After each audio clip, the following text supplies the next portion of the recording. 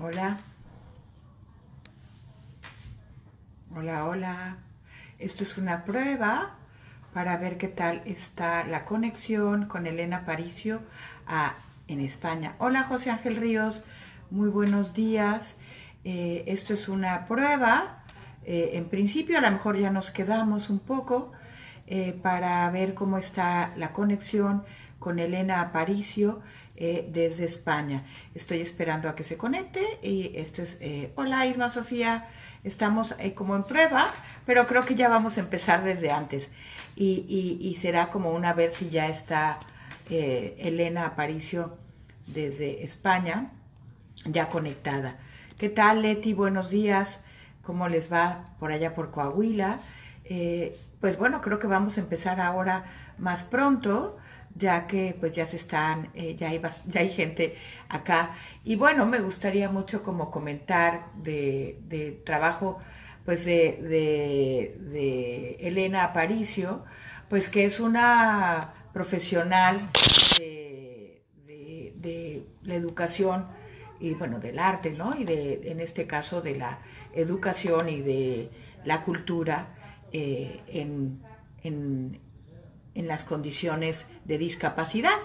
Y esta, em, estas charlas que ya vamos a empezar, porque pues ya hay gente unida y tal, eh, me gustaría mucho, ya no va a haber prueba pues Elena, me gustaría mucho que comentáramos que este es el cierre del ciclo de, de, de museos, pero que a partir de eh, los martes de la próxima semana vamos a empezar con un ciclo de eh, visitas. Nos parece importantísimo conectar, eh, irnos conectando al espacio público, al espacio de todas, todos, todes, y conectándolo con la con el espacio de la casa y realizando actividades creativas. Entonces esperen el próximo martes 30 a las 5 de la tarde haremos una actividad de visita a la galería de eh, una visita virtual con Joao Rodríguez y un taller de iluminación. Pero el día de hoy estamos muy afortunadas porque eh, Elena Paricio eh, ha sido una persona cercana al trabajo curatorial pues de México y en especial de Baja California. Hace pues ya muchos años hicimos una curaduría juntos, justamente en la galería de eh, lo que se conocía como el ICBC, ahora de la Secretaría de Cultura, y eso fue hace mucho. Y me voy a permitir em, comentar algunas eh, destacadas acciones que ha hecho Elena. Ha realizado labores de coordinación y organización del proyecto internacional ARCHES, Accessible Resource for Cultural Heritage Ecosystems en el equipo de Educaticen eh, del Museo eh, de Nacional Thyssen-Bornemisza de abril a octubre de 2019. Entre 2016 y 2019 fue coordinadora y asesora de accesibilidad en el MNCARS, eh, que es el Museo Nacional Reina Sofía, y de 2003 a 2000 11 fue responsable de contenidos educativos y programación para personas con discapacidad en el Museo Picasso en Málaga. Eh, todos estos museos en España. Como profesional independiente ha, sido invitada a formar parte de equipos docentes del proyecto Listen Italia, organizado por The Blank Contemporary Art para profesionales de museos italianos en Bérgamo 2019, o a impartir cursos con el profesorado en activo o estudiantes universitarios en universidades nacionales e internacionales sobre estrategias educativas de pensamiento visual y comunicación no verbal inclusivas, esto en el 2020, arte, accesibilidad, cultura, museología y educación. Y también ha sido curadora de proyectos de arte contemporáneo como la eh, Bienal de El Cairo y em, pues ha sido una persona muy eh, cercana a las artes visuales y en crear programas también em, para que los eh, discapacitados puedan tener un proceso pues de trabajo y de oportunidades para eh, la vida de una manera más digna y más equidistante a las posibilidades sociales de hoy en día. ¿Qué tal, Elena? ¿Cómo te va? Qué gusto. qué gusto mirarte. Qué gusto enorme, además, Olga. Eh, pues tantas ganas, tantos años se han pasado cuando has recordado nuestros trabajos en, en México juntas, eh, pues sí, han pasado ya, desde 2005 han pasado muchos años. Sí, ya es, ya es necesario que, que vengas de nuevo Y que, bueno, por lo menos hoy estás acá con nosotras, nosotros, nosotres, en Baja California, y bueno, ya hay gente de Coahuila, hay gente también, mucha gente de España, y pues eso, es un gusto que por este medio nos podamos conectar. Y muchísimas gracias. Elena, eh, la Secretaría de Cultura de Baja California, eh, pues te da la cordialísima gusto de estar aquí juntas. Y pues bueno, eh, ¿cómo está todo por Tarragona? Pues, eh, pues parece que tranquilo de momento, en este momento tan complejo que ha sido todos estos meses de confinamiento por el COVID-19, eh, pues desde hoy eh, se ha acabado el estado de alarma en España, por lo cual empieza a haber un movimiento de personas y de, que vienen de otras provincias, pues yo creo que con muchas ganas de mar y de aire libre y de libertad, ¿no? Y de naturaleza. Claro, pues qué, qué noticia tan más fabulosa para empezar esta charla. Y, para nosotros nos da pues un gran sentido de esperanza, ¿no? El, que digas que ya, ya España está abierta para que la gente circule, porque hasta donde entiendo estaban eh, pues eh, organizados para que no salieran de sus provincias, ¿verdad? Correcto, correcto. Sí, sí, hemos estado desde el día, si no me equivoco, bueno, en Madrid empezamos el día 12 o 13 de, marzo y pues hasta hoy, 21 de junio, parece que el verano trae buenas noticias. El solsticio de verano. De hecho, increíble, ¿no? Total, total. Parece que haya sido diseñado, la verdad. Eh, una cosita, Olga, ¿se, me, ¿se ve bien o abro un poquito más las persianas para más Está perfecto, te ves si estuvieras en la playa, de hecho. Pero pareciera como que estamos hasta en el mismo horario. ¿Qué hiciste? Quedó requete bien, ¿no? Porque ya son las nueve y media de la noche, ¿no? Las ocho, las ocho. Y aquí ahora, claro, estamos en los días más largos del, del año, entonces hasta las nueve tendremos luz natural segurísimo.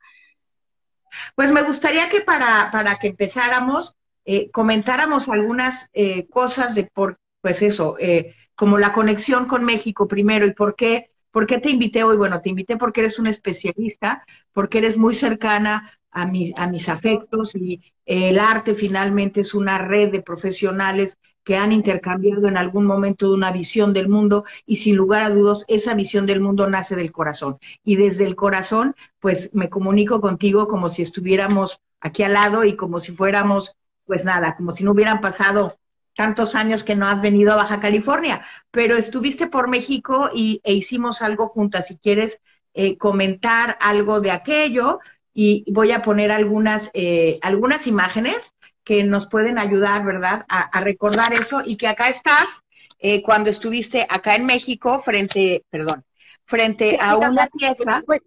Sí, sí, ¿Cómo? Nada, nada, aquí cambiándome de posición, que no. ya, paro, ya paro, es que no paro. ¿Te acuerdas? Ahí estás muy, muy mona en Toluca con una pieza de Irma Sofía Poeter, la baja californiana, querida amiga.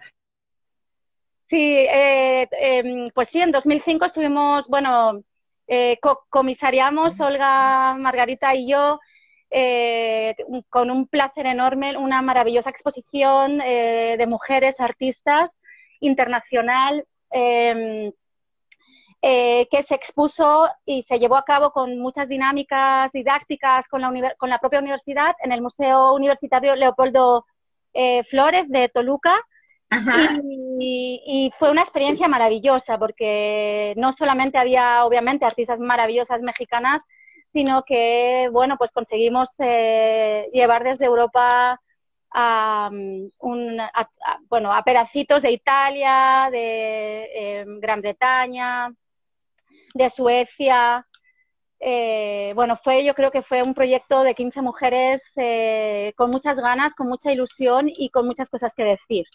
Había, recuerdo, algunas piezas eh, que ya entonces eran bastante críticas con la situación, con las situaciones sociales, con las situaciones de la presencia de las mujeres en las entidades culturales de prácticamente de todo el mundo, eh, o incluso con las relaciones patriarcales que existen todavía en muchas sociedades, ¿no? Em, claro, hablando de, de, de, desinclusión, ¿no? en ese sentido. exacto, Pero bueno, de una manera uno tiene que notar la, el no estar incluida para darte cuenta que hay que incluirse, ¿no? Y no digo que, que hayamos necesariamente de pasar por ahí, pero bueno. Y esa, ¿te recuerdas que la segunda versión de esta exposición la hicimos acá en Tijuana? Exacto. ¿Y, y qué tal? Desde, desde, desde aquel entonces, ahora, pues ha pasado una, pues una eternidad casi para todas y, y para todas, ¿no? Y, y, tantas cosas que se han movido en, en, el mundo y en nuestro sentido de carrera, ¿no? Y en nuestro sentido de desarrollo profesional, diría yo, no de carrera, porque si no me siento como si estuviéramos en una competencia y no es así. Y en esa medida, eh, cuéntame, cuéntanos eh, qué, qué desarrollo en ti ha sido para que estemos ahora empezando a plantear la idea de accesibilidad en esta charla? Eh, bueno, yo ya había trabajado realmente antes con temas inclusivos desde pues, las casualidades de la vida, desde el inicio de mi, de mi, de mi, bueno, pues de mi labor o de mi experiencia profesional. Recuerdo que en el año 95, en la, en la, la primera vez que fui qué tierna en el año 95, ¿eh? Han pasado ya 25 años de aquello. En el primer proyecto que hice como, como educadora de museos, en este caso con un proyecto de la Fundación La Caixa en el Museo de Valls, un museo local pequeñito pero muy interesante. Eh, recuerdo que, eh, pues no sé si fue el segundo, el tercer, el cuarto día, no recuerdo exactamente, de, ejercer como, pues bueno, como guía, como educadora, como dinamizadora, como eh, hay mil palabras actualmente para decirlo, ¿no? Em, eh, pues para personas que venían de todas las edades, recuerdo que apareció un grupo con, em, con enfermedad mental y con problemas de desarrollo em, y psicopatías y recuerdo perfectamente que fue un reto enfrentarme de repente, de la nada, a, a unas personas bueno, simplemente que no, yo no, a lo mejor en aquel momento no conocía a todos, eh, digamos, ya fuera a nivel de comunicación las palabras o las herramientas para poder trabajar con ellos o de una manera diferente, simplemente por utilizar un lenguaje menos técnico, menos complejo, eh, mm, más directo, eh, quizá lo que ahora se llama lectura lectura fácil o lectura facilitada, en aquellos momentos pues prácticamente no existía ni se había planteado y claro, estamos hablando de, artistas conceptuales bastante complejos, ¿no? Y entonces enfrentarte de repente a utilizar en vivo y en directo otros recursos, otras eh, formas de comunicar, otras formas de enganchar a esas personas para que participaran, para que fueran parte del proceso, eh, me abrió una puertecita que yo no sabía que existía y que pues ha llegado hasta ahora, ¿no? Ahí fue como una, un inicio hacia el tema de la inclusión y de la accesibilidad. Em, un poco inocente, un poco casual. Eh, bueno, tú y yo hablamos el otro día que seguramente había raíces mucho más profundas en esa facilidad para poder trabajar con personas eh, con, con, otras, con otras capacidades, ¿eh? porque vamos a utilizar quizá esa palabra que creo que me gusta más que con discapacidad, ¿no? Sino que todos tenemos diferentes capacidades que tenemos que potenciar. Y mm, pues esa puerta me ha llevado hasta aquí, ¿no? Creo que mi especialización ha sido en este campo y sobre todo ha sido un aprendizaje enorme eh, a lo largo de todos estos años, ¿no? Claro, en ese sentido pienso en tres cosas. Uno, cuando en 95 eh, el mundo, y en eso ha sido, supongo yo, que una experiencia muy linda para ti, ir creciendo como con la, con la disciplina en términos de cómo los museos eh, fueron, eh, han ido abriendo y hemos ido abriendo procesos educativos al mismo tiempo, ¿no? Y cómo los conceptos de hablar también de otras capacidades, pues todo mundo tiene, entonces es como, es una nebulosa, ¿no? El otro día platicábamos y me encantó y me gustaría que sea una de las otras ideas que quería haber tirado en este momento, eh, hablar de las discapacidades visibles, o sea, y las discapacidades invisibles y comentábamos que todos, todas y todes tenemos discapacidades. Hay una sección de nuestro entendimiento, de nuestro hacer, de nuestro vivir, que somos totalmente incapaces de hacer eso. Y entonces hay discapacidades emocionales, por ejemplo, a la gente, cuando, y, lo hablamos mucho entre mujeres, de, de, las imposibilidades de encontrarnos emocionalmente con un otro masculino a veces, y toda esta confusión, y ellos también seguramente dirán, hay estas mujeres que no les entendemos de la misma manera. Entonces, creo que abordar desde el entendimiento de nuestro trabajo como curadores, que son ya de entrada y hay un proceso educativo, ¿no? Hay un sentido de querer compartir con otra, otro, otros, eh, ese, ese, contenido que nosotros hemos encontrado maravilloso en el mundo del arte, ahora especialmente para una persona que tiene, como tú lo dijiste, y me gustaría que ahondáramos ahí, la discapacidad eh, intelectual, la discapacidad motora, etcétera, que pues te acerca a que tu padre estuvo mucho tiempo enfermo y desde ahí aprendiste a lo mejor, y era lo que la tercera cosa que sí me parece que es algo lindo decir por qué uno va creando esos afectos, porque finalmente aprendiste a desarrollarte con mucho cuidado y con mucho afecto a alguien que, que querías apoyar porque lo adorabas, ¿no? Entonces, eso te fue vinculando algo así. Sí, algo, algo de eso tuvo que haber. ¿Recuerdas que el otro día lo hablamos un poco por casualidad y un, un poco eh, por intuición también? Ahora que se habla tanto de cuidados, eh, tenemos que tener en cuenta ¿no? que en el mundo de los museos y de la, eh, la introducción de la educación o de la parte comunicativa hacia el exterior, la parte de públicos, ha sido Em, progresiva, digamos, ¿no? Y ahora, pues bueno, ahora ya se han convertido muchos de los museos o muchas de las estrategias enfocan mucho a, la idea de un museo social, pero como tú decías muy bien antes, en el año 95 esto estaba como en, ni, ni, planteado ni siquiera, por decirlo de alguna manera.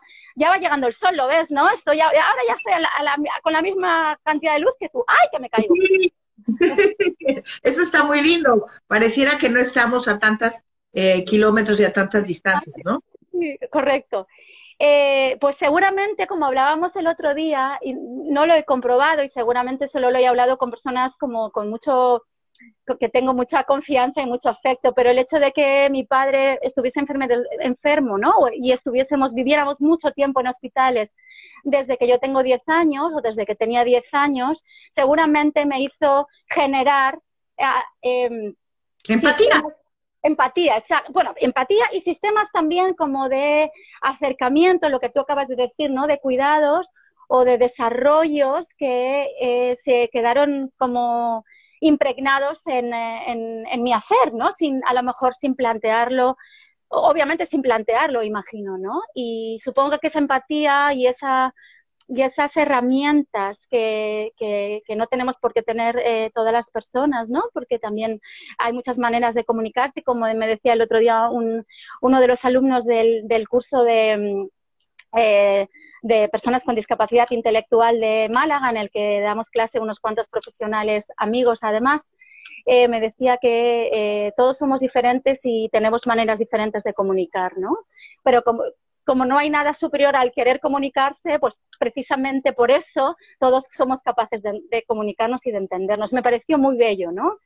Entonces, bueno, pues un poco por ahí supongo que se desarrollaron eh, eh, vías eh, que quizá en un inicio yo quería, evidentemente quería trabajar en museos y quería trabajar como curadora y quería trabajar como educadora de museos, pero bueno, pues se desarrollaron hacia un lugar que quizá eh, no, no, no lo tenía planteado, ¿no?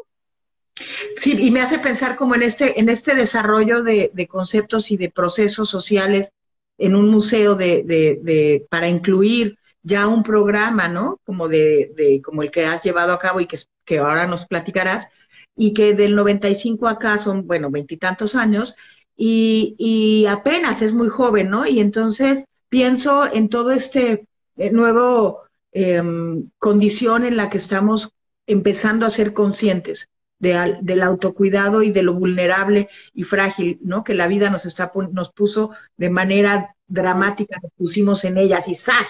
Acuérdate que tienes cuerpo y acuérdate que una cosa invisible te puede destrozar. Entonces, ve acomodando tus valores de nuevo, ¿no? Y a ver qué le vas poniendo de atención a las cosas. Entonces, creo que en ese sentido, como, como si algo tan, e, este sentido de inclusión, que además ya en términos de políticas eh, globales y políticas, en el caso, por ejemplo, de, de, Baja California, pues que, que, ya hay todo un, pero es creo el gobierno anterior y este enfáticamente Exacto, y un, y, un, y, un, y, un, segmento del plan de gobierno para trabajar con, con inclusión y diversidad y género y eh, posibilidades, y en ese sentido, eh, eh, cosas de intercruceamiento con el DIF, Cultura y DIF, o sea, con todos estos organismos que, que otras comunidades como la europea, pues ya lo tienen desarrollado desde algunos años. En fin, lo que quiero decir con todo esto es que nos tengamos más paciencia, ¿no? en esta nueva dimensión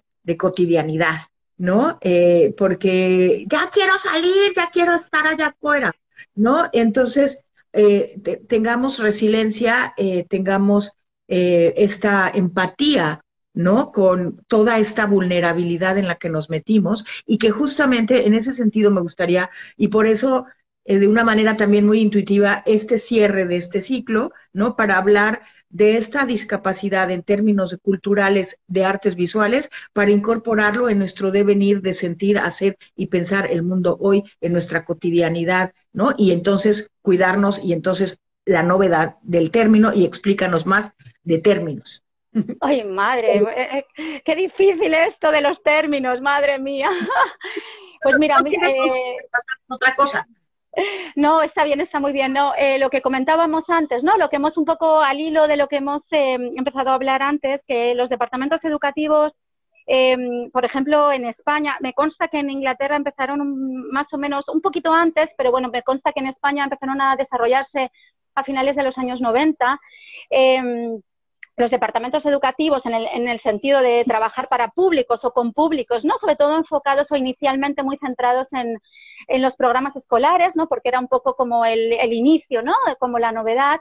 Eh, al hilo también de que se desarrollaron en el MoMA, bueno, pues ya sabéis, ¿no? todo el, el, ámbito anglosajón en esto nos llevó, nos llevó un poquito de ventaja, ahora le, ha dado, le hemos dado completamente la vuelta y precisamente eh, todo ese ámbito está mirando hacia eh, hacia pues, eh, políticas o, ideas mucho más em, eh, pragmáticas, pero a la vez, em, ¿cómo, lo, ¿cómo, lo, diría? Cotidianas o sinceras. Es que es difícil.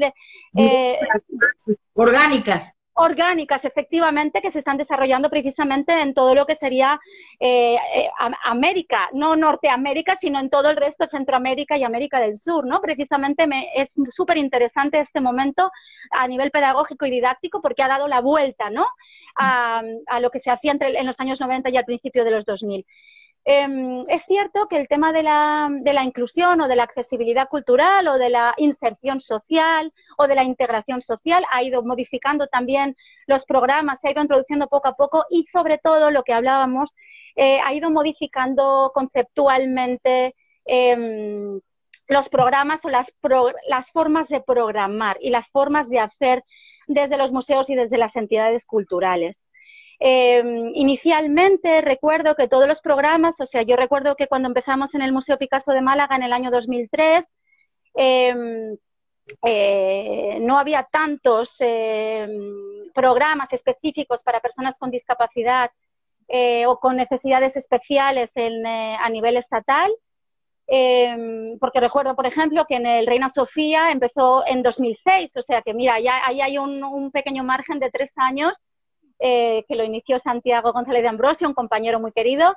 Em, pero eh, lo que te decía, que en el año 2003, cuando empezamos en Málaga eh, y nos atrevimos a, nombrarlo, también fue muy complicado, ¿no? Y a acercarnos a las entidades que trabajan con los temas de discapacidad, porque por un lado querían ser integrados, digamos, de algún modo, ¿no? Querían ser, obviamente querían ser partícipes de la cultura porque es un derecho universal, Em, pero, por ejemplo, nos indicaron, recuerdo perfectamente que cuando hablamos con la organización más importante que hay en España para personas ciegas, la Organización Nacional de Ciegos Españoles, eh, nos dijeron que ellos, por ejemplo, no querían que fueran las entradas gratuitas, porque ellos querían tener el derecho y la obligación también. O sea, que de la misma manera que te querían el derecho de tener una cultura accesible, que tenían también eh, la obligación de pagar su entrada como cualquier otra persona, ¿no? Cosa que nos chirrió muchísimo en aquel momento, pero que luego obviamente entendimos en un contexto em, eh, de igualdad, porque si no hay tanto sea eh, diversidad positiva como negativa, ¿no? pero lo que ellos hablaban era precisamente de igualdad. que es ¿no? Que es, de repente te das cuenta cuando te lo, dice, te lo dicen esas personas, ¿no? Eh, eh, y, ahora no me acuerdo lo que iba a decir, perdonadme porque me he perdido. No, no, no. De, ah, cómo ha ido evolucionando y la conexión. Y, no sé si quieras que pasemos como, como ejemplos precisos, porque creo que en esa medida, una de las cosas que lo puede hacer muy rico y desde mi experiencia es como cómo fuiste desarrollando, qué tipo de, mecanismos usas en cada cosa, de qué se trata de hacer que ello, que el que no ve, vea, o el que no oye, o el que lee de otro modo, o, ponerlo en sus parámetros, no sé. Si quieres, eh, eh, podemos poner, porque estaba aquí viendo algunas, algunas imágenes de, de, de lo que, de esto, justamente de lo que estás diciendo cuando estabas en Málaga, digo, sí. en Málaga, eh, de, cuando estabas en el Museo Picasso. Exacto, sí. Pues mira, eso, por ejemplo, esa imagen que está ahora mismo en pantalla, la voy a describir porque he visto que se ha conectado además Chis Carrigo, que es una amiga muy querida, em, que es una persona ciega, que me está ayudando muchísimo a comprender, estamos trabajando mucho juntas. Em, pues esa, esa, esa imagen, eh, eh, bueno, pues estoy haciendo una visita guiada participativa. Eh, entonces las llamábamos, recuerdo, ahora se llaman participativo o colaborativo, pero entonces las llamábamos interactivas, porque no tenían esa, ese componente digital que actualmente tiene la palabra interactiva, ¿no? Perdona que te interrumpa, pero ¿te acuerdas que hace un momento decíamos, cuando todavía no entrábamos al aire, que si hacíamos algo, que vinieras a hacer algo en línea para, para otras capacidades, y justo Chisca nos puede dar la oportunidad de poner en práctica en este instante para hablar de esa imagen que ella no ve pero que está acá y que oye. Efectivamente, efectivamente. pues bueno, como os comentaba, estaba, bueno, estaba un poco describiendo la imagen. Em, es una imagen eh, dentro de las salas del Museo Picasso de Málaga, específicamente en la última etapa del artista malagueño de Picasso. Estamos frente a una imagen que se llama Bañista, que es del año 1973, que es un momento creativo del artista maravilloso porque ya no tiene miedo a nada, ya no tiene vergüenza, bueno, nunca tuvo demasiada vergüenza, pero me refiero a que en ese momento ya estaba completamente liberado, había dado la vuelta a todas las maneras de crear y de, y de, y de inventar y de reinventarse a sí mismo, no solo a nivel eh, técnico, sino ya a nivel humano. Y es, y es un personaje o es una figura, una figura que podría ser humana, pero que realmente parece casi una ola eh, fundida con un mar embravecido Em, que es una especie de personaje nadando eh, donde no se sabe dónde empieza el mar y dónde empieza ella, ¿no? O sea, el, color, las formas son ondulantes, eh, todo se confunde. El personaje tiene los ojos muy abiertos, em, hay, una, hay un, lenguaje cubista, no es una obra cubista, pero utiliza ese lenguaje cubista para marcar esa idea de, de mirar eh, desde arriba, desde abajo, desde un lado, desde, el otro, ¿no? Como ese lío, esa amalgama de intentar definir cómo miramos desde todos los ángulos y cómo vivimos y, disfrutamos al final, ¿no? O, también sufrimos desde todos esos ángulos.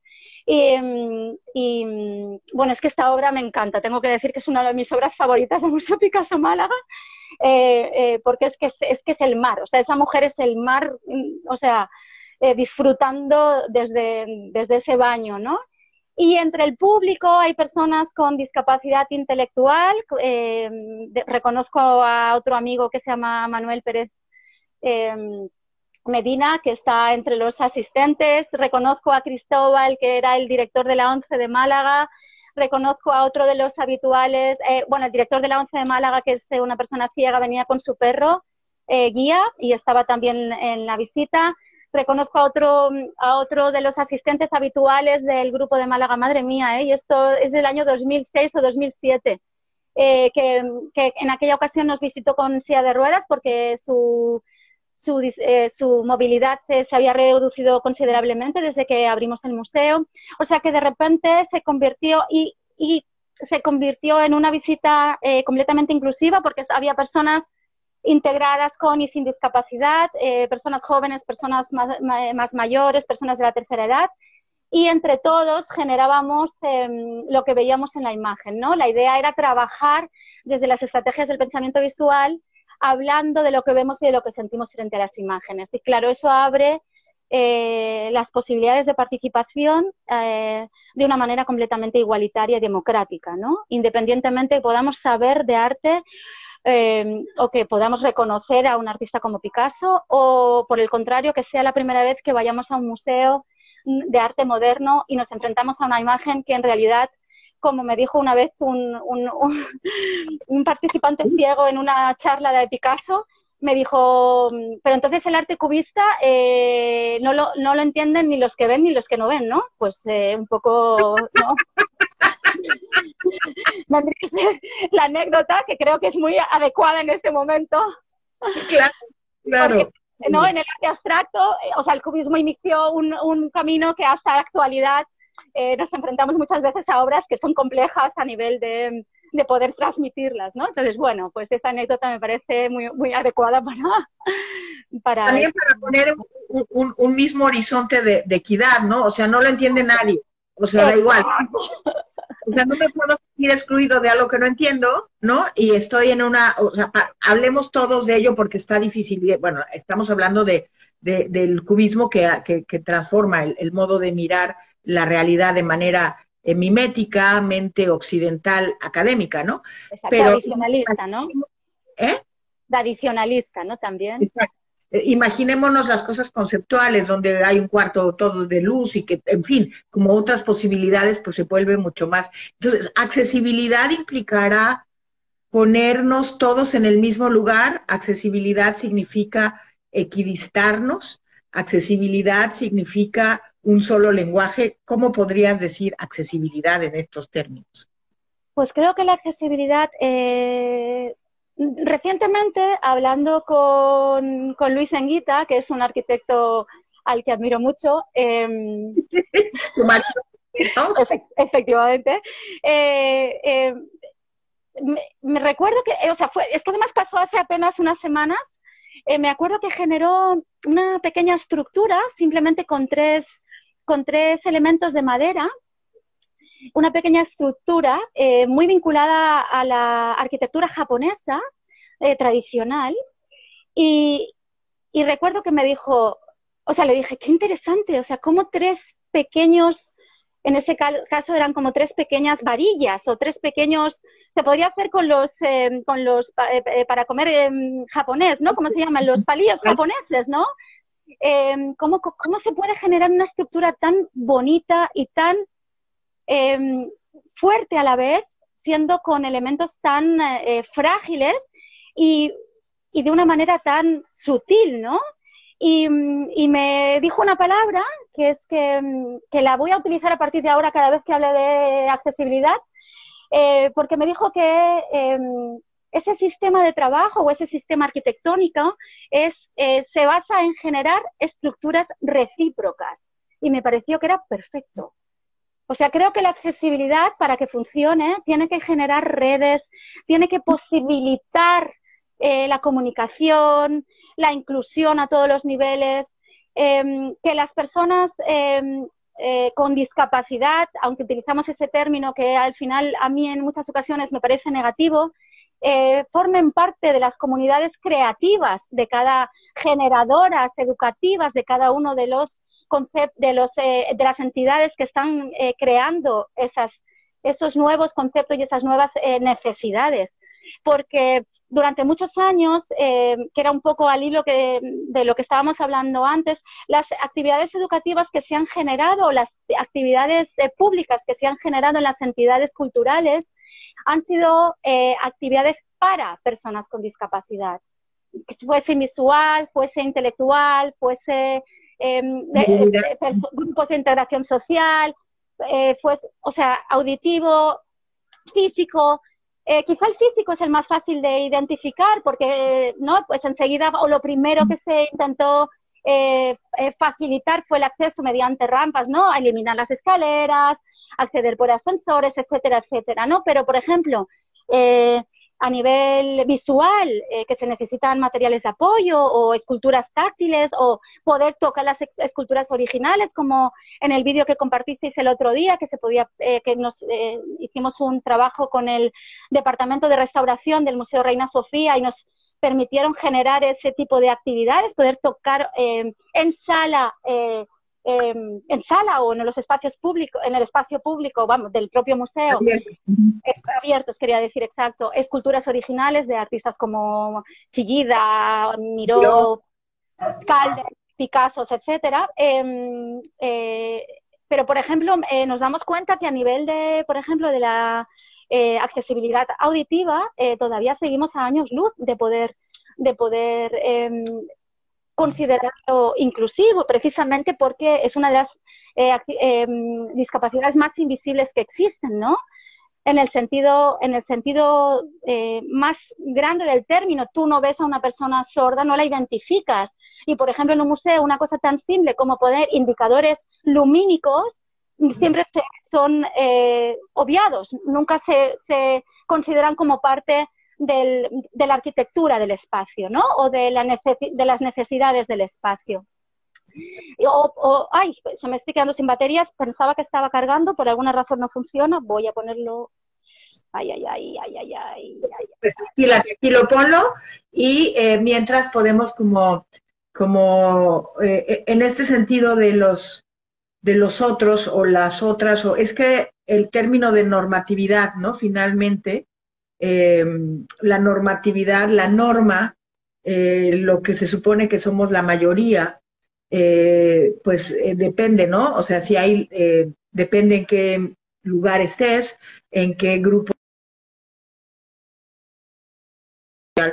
¿no? en la medida, ahorita seguro se vuelve a conectar y em, ahorita regresamos, pero creo que pone de manifiesto muchos, muchas ideas que están detrás de nosotros, ¿no? Como, como sociedad, como colectivo, eh, eh, la, la, dominación de una sola forma de entender la realidad, ¿no? Eh, porque seguimos hablando de accesibilidad, aunque claro, son menos personas las que probablemente visitan un museo que tienen alguna discapacidad o una capacidad distinta en relación a la norma, que es muy rara la palabra, tener que explicar todo esto porque la capacidad de qué, ¿no? Eh, o sea, todas estas reflexiones atrás de ello están ahí presentes para, para reconocernos cómo en el día a día vamos eliminando y vamos eh, segregando sin darnos cuenta, ¿no? Eh, que, y, tiene que ver en, en, en, mecanismos de poder finalmente, y en, ya se volvió a unir, y entonces, ahorita volvemos a entrar. Eh, y entonces, eh, esas formas de, exclusión naturales, ¿no? Que creo que es una de las primeras razones y cosas que nos enfrenta esta, esta pandemia. Eh, el reconocer cómo nos la hemos vivido excluyendo cosas y creando una diferencia de oportunidad y todo el tiempo disgregando, diferenciando, dándole eh, privilegios a unos que a otros y, con base a qué, siendo que todos, por ejemplo, ahora, ¿no? En la migración, siendo que alguna en esta ciudad tan migrante como es Tijuana, eh, está intentando conectarse. Elena, ya le estoy poniendo, estamos esperando, yo creo que eh, como que a lo mejor su teléfono no termina de, tener toda la energía para captar la, el wifi, ¿no? Ya, venga, pero no te vemos, nada más te oímos, pero está muy bien que te oímos por lo, ah, por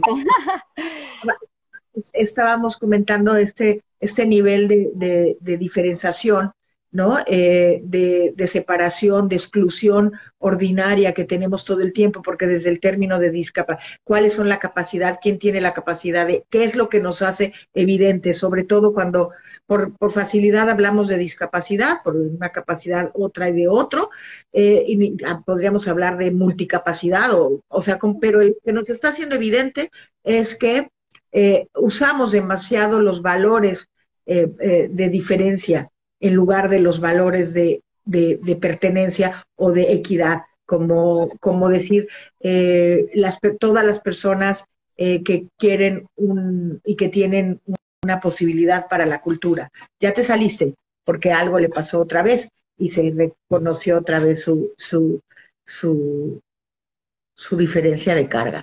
Pero bueno, eh, no sé, eh, eh, en esa medida, si también alguien más quiere agregar algo y comentar, creo que sería algo muy bueno para poder hacer más inclusiva, porque nos interesamos en todas las posibilidades de escucharnos, ¿no?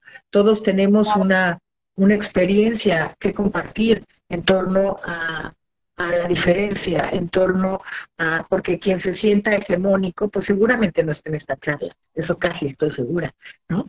Entonces, Exacto. ¿No?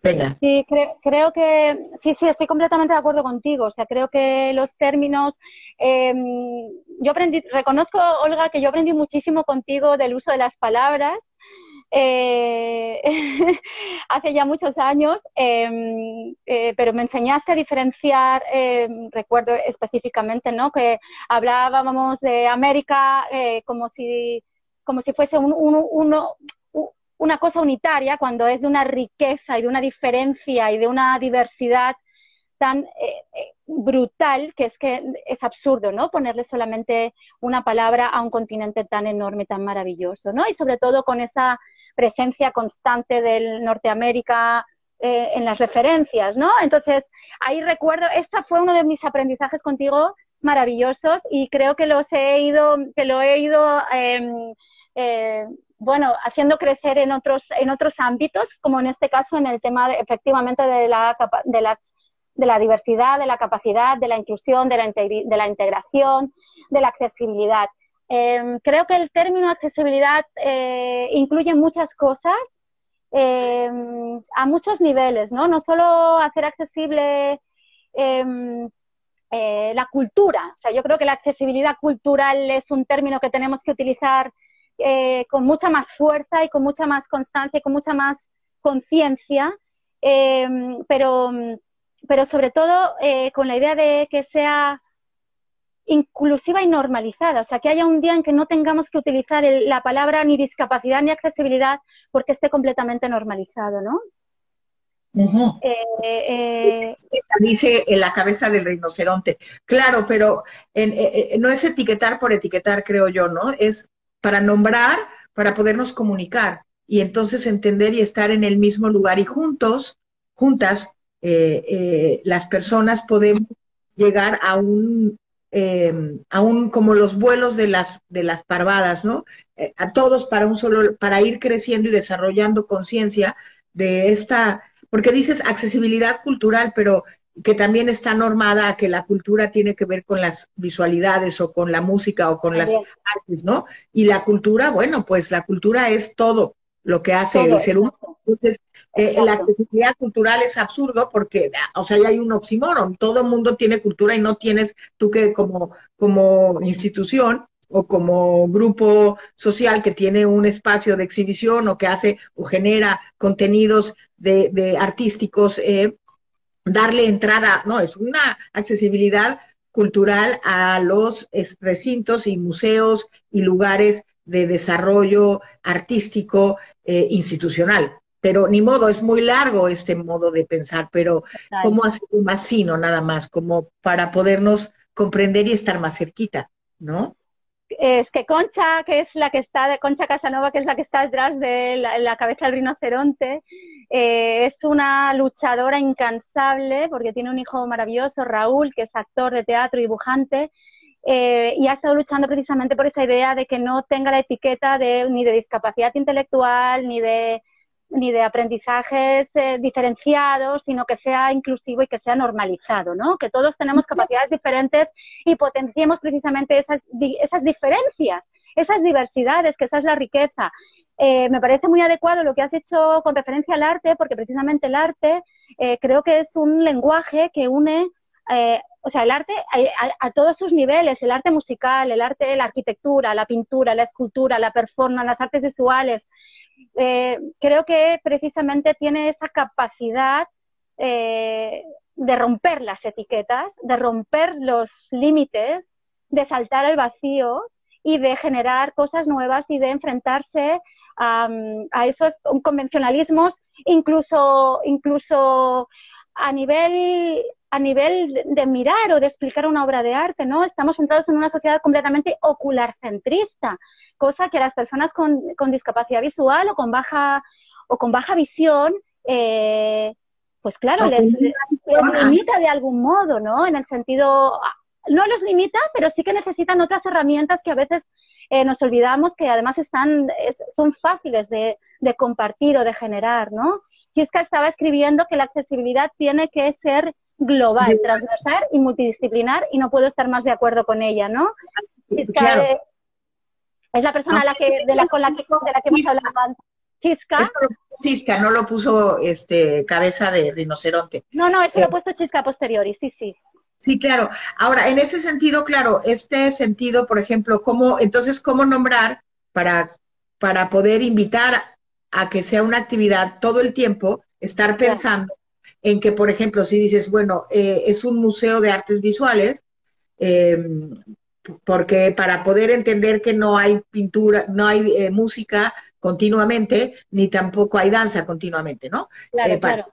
Exacto, entonces, ¿y qué? Pero que hay ciertas facilidades o que está pensada la actividad desde entrada para que puedan a, estar otras personas con, con, una capacidad visual o disminuida al 100, 100, 100 por decir algo, o que, no, que no tienen eh, visión. Entonces, eh, y que también pueden venir a ese tipo de lugares porque no hay un museo para ciegos en el mundo, ¿o sí?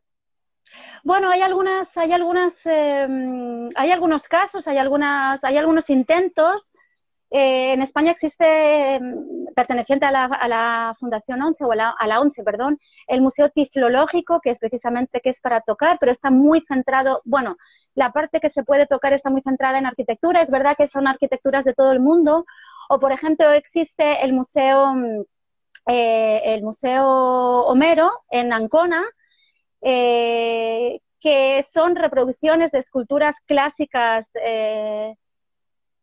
clásicas, mm, principalmente italianas, eh, por ejemplo el David de Miguel Ángel, para que un poco para que nos ubiquemos, y los, em, los guías son personas ciegas y la visita se hace precisamente desde su posición, o sea, las, las salas están en la oscuridad, eh, la, visita se hace a través completamente del tacto, ¿no? Que es un poco lo mismo que pasa en el triflológico, aunque en el triflológico no está esa inmersión en la, en la oscuridad o en el eh, bueno, esa, esa, en esa parte más de ceguera, ¿no?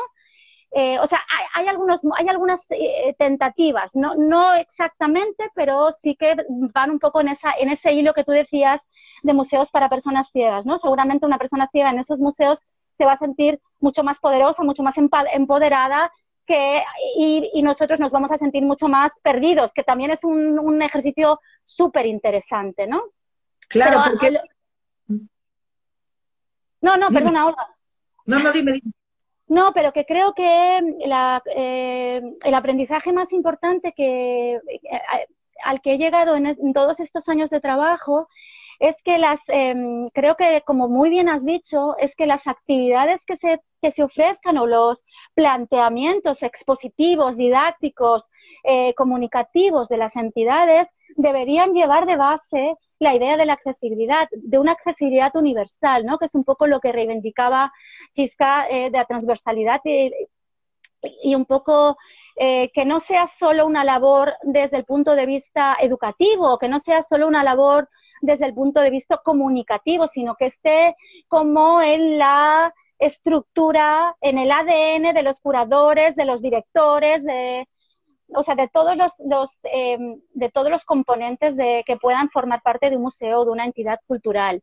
Eso obviamente es una, una utopía, pero creo que hay, una, hay un interés muy fuerte en romper la barrera de lo que estábamos hablando antes, de nacer, de el hecho de hacer actividades para personas con discapacidad, a hacer actividades con personas con discapacidad, para conocer sus necesidades, para que ellos eh, nos, nos expliquen eh, las herramientas que son eh, más adecuadas, em, cómo potenciar esas capacidades, cómo em, romper esas barreras. O sea, creo que en muchos, muchos casos, y de hecho en el, en el Reina Sofía, en el Thyssen, en museos como el MENAC de Barcelona, em, en el Villajoyosa de, en Murcia, ya se está planteando, en el Lugo, muchas ya han, hay personas integrantes en el equipo que tienen capacidades diferentes, cosa que facilita muchísimo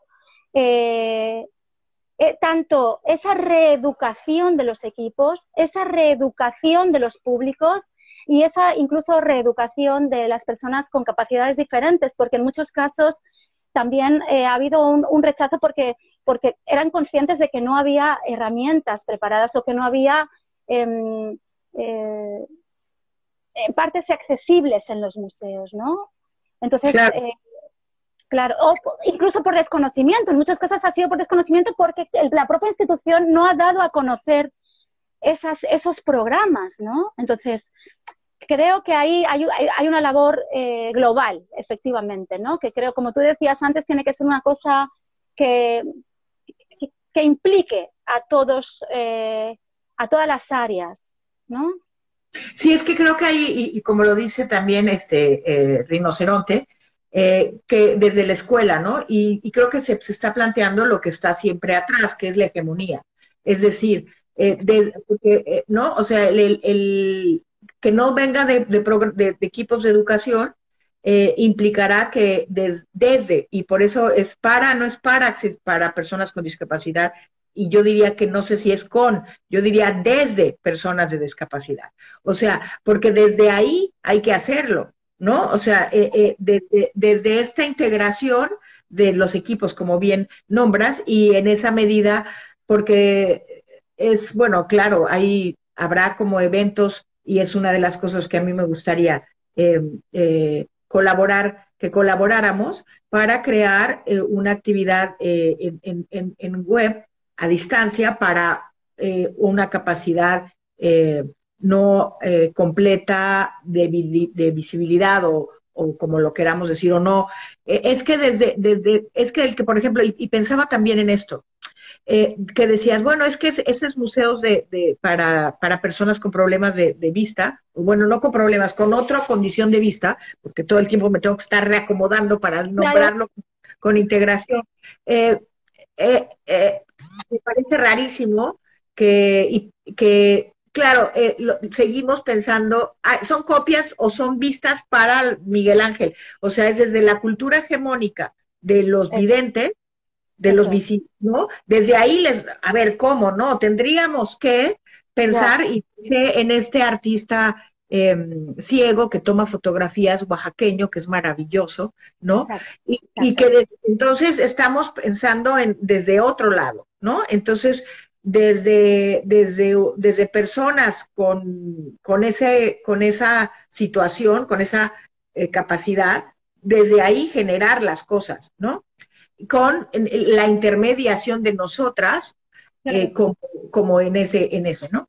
Eh, claro, sí, finalmente, como bien dice este Pilar Silva, que es de Tecate, que te acordarás donde vive ahora Irma Sofía, dice, claro, muy interesante charla y es un gran reto para las instituciones culturales. Por supuesto, y justamente de eso se, se, intenta, ¿no? Como el simple hecho de que empecemos, o sea, que por un rato pensemos en, en, que nos creemos la norma, siendo que además tenemos muchas discapacidades, y entonces, bueno, eh, y por lo menos una actividad al año que podamos hacer desde la condición de otredad, ¿no? Eh, creo que por ahí podríamos empezar con un cosito desde acá, porque se han hecho también cosas en Baja California y ha habido, eh, eh, Péndulo Cero ha hecho danzas para gente con otras capacidades de movimiento, en fin, bueno, yo creo que cualquier persona que no haga danza tiene otras capacidades de movimiento ante, ah, una verdad, cierto. ¿no? pero bueno, es, una broma. No, y, y, bueno, ha habido muchas experiencias de exposiciones, tanto en el Centro Cultural Tijuana, en el Instituto Municipal de Arte de Tijuana, etcétera, del municipio y de otros municipios en Mexicali, que, que es ir a tocar, ¿no? O sea, eh, eh, piezas o artistas que se han preocupado por esas condiciones y hacen relieves, ¿no? De paisajes, de etcétera, y que son piezas para que la gente vaya y toque. ¿no? Entonces, y también yo cuando estaba en, Coahuila hacíamos cosas para personas con problemas de, de con, con, otras condiciones de, visibilidad y entonces tocaban piezas de Felgueres, etcétera. Creo que en esa medida, sí, o sea, ya planteamos el panorama y sí, hay que ser globales y sí, hay que pensarlo desde, desde ahí, pero también me gustaría que, que también comentábamos lo de que, que hablabas tú y me decías, es que no es discapacidad, es, es inclusión, que decías, eh, lo social, ¿no? O sea, las culturas de gitanos, las culturas, en nuestro caso, las culturas indígenas, etcétera, etcétera. Otra, tenemos una discapacidad de entendimiento, ¿no? La, mayoría de los humanos que pensamos que los indígenas o que los moros o que los gitanos o que los este, serbios son eh, minorías, por ejemplo. Por ejemplo. Eh, sí, eh, eso es, otro, es otro punto muy interesante que eh, es, cierto que yo no lo, no lo em, consideraría como un tema de accesibilidad, sino de, de, inclusión, de inclusión social, aunque es cierto que en temas de accesibilidad también podemos hablar de inclusión cultural. Pero bueno, es cierto que eh, con el tema de la integración social hay todavía también muchas lagunas de ahí hablaba con, eh, de algunos programas que, pretenden ser sociales, ¿no? que abrirse a los barrios, a las otras em, eh, etnias, etcétera. Pero hasta el momento lo que me he dado cuenta es que siempre suelen ser em, trabajos o acciones muy puntuales. Entonces, em, quiero sacar a colación aquí un proyecto muy bonito y muy interesante que se hizo en, Melbourne, en Australia, em, con dos artistas, eh, bueno, es un colectivo de artistas que trabajan con arte comestible, ojo, em, que la multisensorialidad acaba siendo siempre la base, creo, de, la inclusión. Como dice Chisca, la diversidad nos enriquece a todos. Eh, Em, que precisamente generaron em, esos vínculos, esas relaciones, esas nuevas formas de comunicar con todas las etnias y todos los inmigrantes que hay en Melbourne. Fijaros que no estoy hablando ni de América ni de Europa, sino que nos hemos ido a Australia para que veamos que es que en todas las partes del mundo tenemos un problema similar con este tema Em, pues no, o sea, desde el propio gobierno, desde el, desde el propio gobierno de australiano, desde Melbourne, desde el, no sé exactamente si era desde la alcaldía, desde la comunidad, no sé exactamente desde dónde, eh, estaban buscando una manera de generar, de romper las barreras que se, que se habían generado de base entre los inmigrantes de, de todo el mundo que, existe, que hay en Australia, ¿no? Y contrataron o eh, crearon un proyecto de arte comestible que se reprodujo la ciudad de Melbourne eh, con, comida. Y cada uno de estos, de estas, em, digamos, de estas etnias, de estas asociaciones, de estas em, grupúsculos colectivos, es que se pueden llamar de mil maneras, eh, se encargaron de un cuadrilátero, digamos, de la propia ciudad y con sus comidas tradicionales eh, crearon esas arquitecturas comestibles. Eh, ¿No? Entonces, wow, eh, ¿no? O sea, de repente se rompieron todas las barreras porque además el proceso de llevar cada uno de esos cuadriláteros a generar el, el mapa común de esa sociedad, de esa ciudad, era un ritual de baile y danza que acompañaba a la comida, cada uno con sus trajes tradicionales, cada uno con sus formas eh, musicales personalizadas, y se convirtió en una fiesta, una fiesta multicultural, eh, completamente inclusiva, ¿no? Yo creo que... En, esas, es que creo que son los rituales colectivos mucho más lugares eh, como de fiesta y de celebración donde se pueden integrar las, las, diversidades culturales étnicas, ¿no? Nada más como, como, como, porque me parece muy indicado que pues es así, ¿no? Es más fácil que en una exposición o que, ¿no? Es eh, la forma que te comunicas rápidamente es con la comida, con la danza, con la fiesta, ¿no? Y nos quedan 27 segundos porque como empezamos antes, ¿no? Y se nos fue, ya no hablamos del Cairo, justamente de eso, y nos quedaremos pendientes para esta otra próxima que te he estado invitando. Muchas gracias. ¿Quieres algo para no solo quería comentar que las artistas eh, se llaman Alicia, de la arquitectura comestible, que tienen un proyecto maravilloso, y el Cairo, pues bueno, está años luz de tener nada parecido a la inclusión.